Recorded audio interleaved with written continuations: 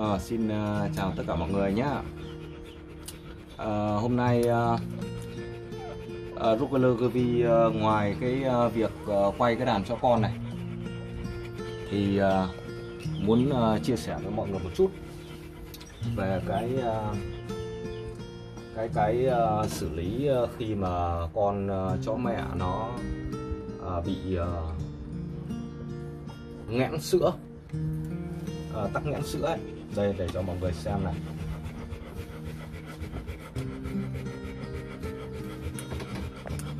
À, để mọi người nhìn.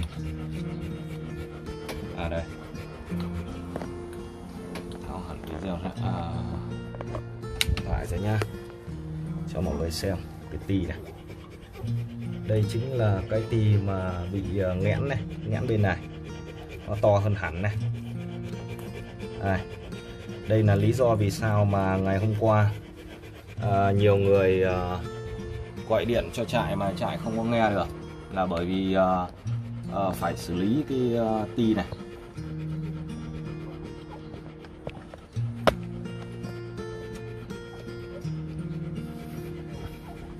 Thì à, với cái à, trường hợp mà, mà cái à, con chó nó bị à, tắc sữa thì trước đây ờ, trại đã có một cái ờ, video hướng dẫn mọi người ờ, về cái vấn đề con chó nó bị tắc sữa là là là dùng cái nước lá mít nước nóng trường. À, nhưng mà à, cái cách đấy nó cũng hiệu quả. Lần trước à, bị là trại đã làm và giải quyết được sau à, cái viêm sau 3 ngày nó về bình thường. À, nhưng mà ở cái lần này thì lần trước là phát hiện muộn à, cho nên là à, khi mà cái à, ti nó đã cứng hoàn toàn cả hai bên ti nó cứng ngắc luôn à, thì mới xử lý cho nên là vẫn phải cho cho con nghỉ không được ti à, nhưng lần này thì à, phát hiện sớm là thấy nó cứng một cái là xử lý ngay. Thì cho con đấy như mọi người xem là cho con vẫn ti bình thường à, sữa con mẹ nó không bị hỏng thì để mọi người biết cái cách xử lý mình sẽ hướng dẫn mọi người để mọi người biết cái cách xử lý. Đây mọi người xem nhá. Con ờ, uh, còn cho con nó vẫn được ti chứ nó không phải nghỉ. Thì cái này là nó cũng là một cái duyên khi mà uh, khi mà mà mà uh, mình uh, chia sẻ ở cái video trước là uh, về cái vấn đề cái uh, cách mà uh, xử lý cái con chó nó bị uh, viêm vú uh, ở cái lần trước tắc sữa. Thì có một anh anh ấy cũng có chia sẻ là anh ấy dùng uh, uh, cơm nếp nóng. Anh ấy bảo là uh, nấu uh, hai bò hay ba bò gì đấy ba lon gì đấy. Uh, rồi uh, dùng uh, hành tím uh, để uh, trường. Thì uh, mình thì mình nghĩ nó đơn giản thôi cái ờ, cơm nếp ấy thì nó là cái cơm đi nó là cái một cái nguồn nóng thôi. Nóng vào thì để cho cái ti nó sẽ uh, kích thích cái tì nó giãn được ra nó mềm ra. Nhưng mà nếu mà khi như lần trước thì mình thấy là dùng cái lá mít đi thì nó rất là lâu. Lá mít là cũng chườm lá nóng các bạn nhé. Nước nóng thấm ở khăn và chườm đấy cũng là dùng nhiệt để mà mà giải quyết đấy.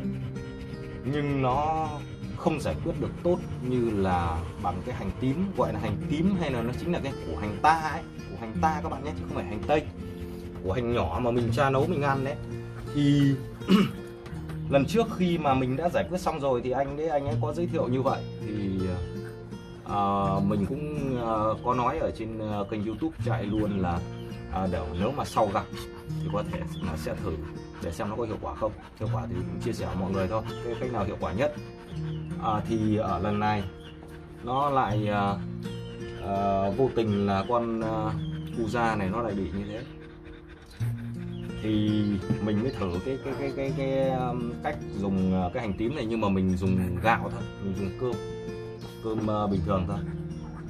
Thì uh, đến uh, với cái cách này thì hiệu quả mà nói thì chỉ trường sau khoảng tầm 15 phút thôi là ok à, rất là nhanh.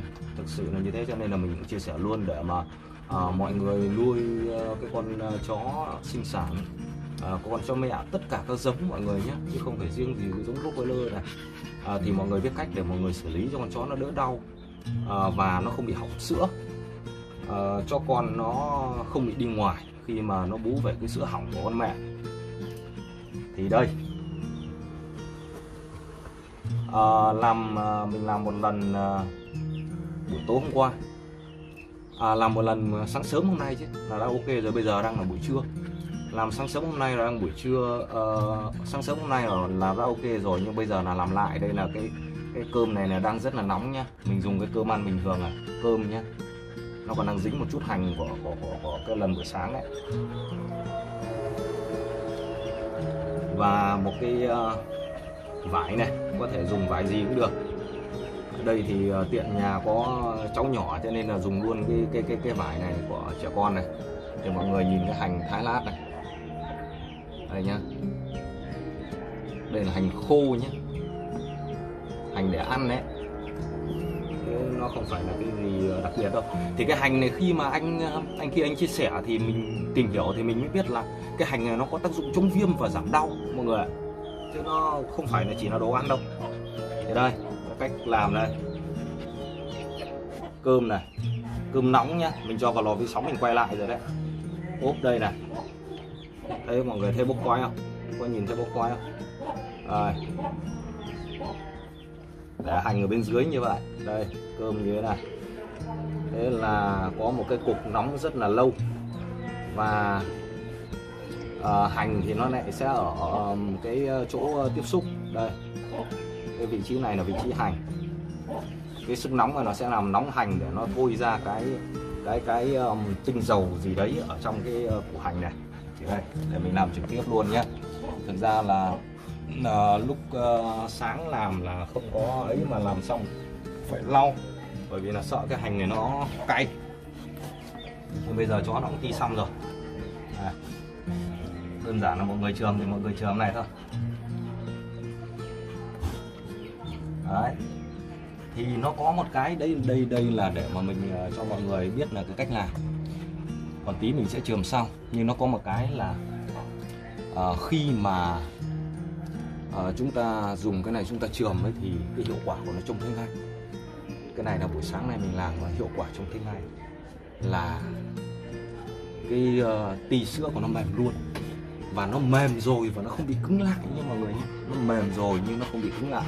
Tất nhiên là khi mà xử lý cái uh, viêm này thì chúng ta đồng thời cái cái cái hành này nó có tác dụng chống viêm rồi nhưng đồng thời chúng ta cũng sẽ phải uh, dùng cả cái um, uh, thuốc uh, kháng viêm cho con chó ăn pha tray dùng cái kháng viêm đấy để nó tránh cái viêm nhiễm ở bên trong. Còn cái hành này là cái hiệu quả của nó mọi người có thể kiểm tra thử là mọi người tìm cái gọi là củ hành tím.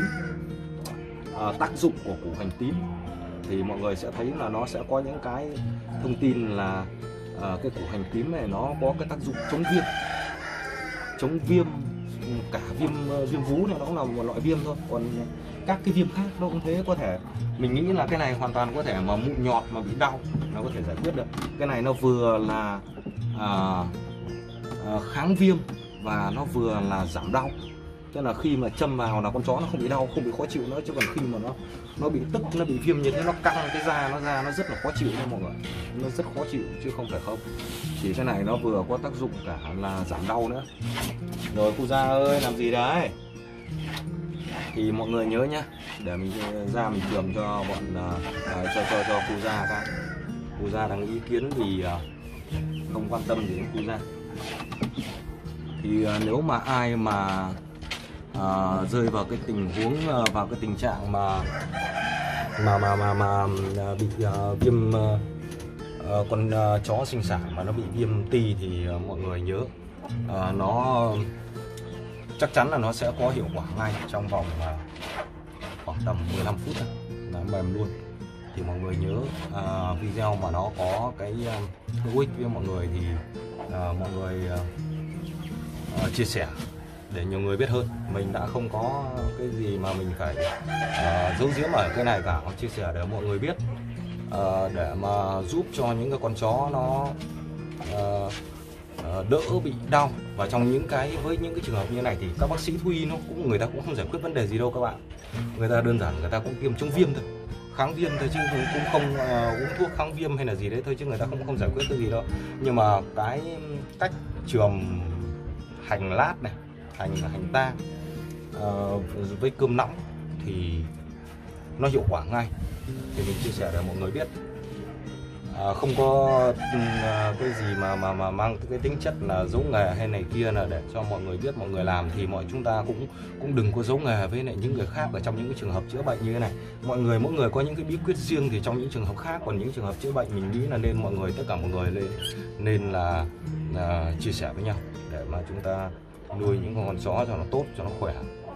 Con chó nó đỡ mệt và cái con chó con nó đỡ phát sinh nó đỡ rơi rụng. Thì video mà hữu ích thì mọi người uh, uh, chia sẻ đi. Mọi người chia sẻ à, video để cho uh, những cái người uh, bạn bè của mình mà cũng có nuôi chó thì biết khi mà gặp cái tình huống. Có thể là bây giờ thì không gặp phải cái tình huống này nhưng mà lúc nào đấy mà mình gặp cái tình huống này thì mình biết để mình xử lý.